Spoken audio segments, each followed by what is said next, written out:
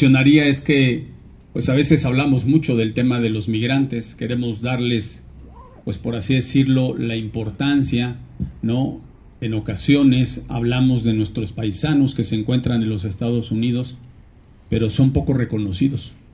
¿sí? Es decir, usted llame donde hay un monumento, un reconocimiento ¿sí?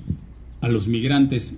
Y Puebla es un estado que tiene una presencia muy importante en Los Ángeles, California, en Nueva York, y nunca han sido reconocidos.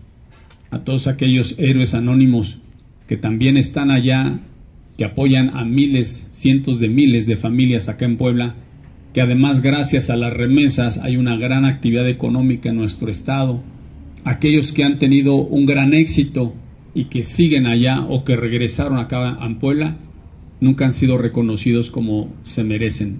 Y nosotros queremos, pues en honor a ellos, a todos ellos, a los héroes anónimos del pasado, del presente, algunos también que haremos públicos, por supuesto, esa gran trayectoria de muchos de ellos, pues eh, el rey de la semita, el de la tortilla, ¿sí? este, empresarios que han destacado en la rama textil, pues queremos hacer un digno reconocimiento eh, con un monumento y un parque especial para ellos en el centro de la ciudad, en donde tendremos este espacio para ellos.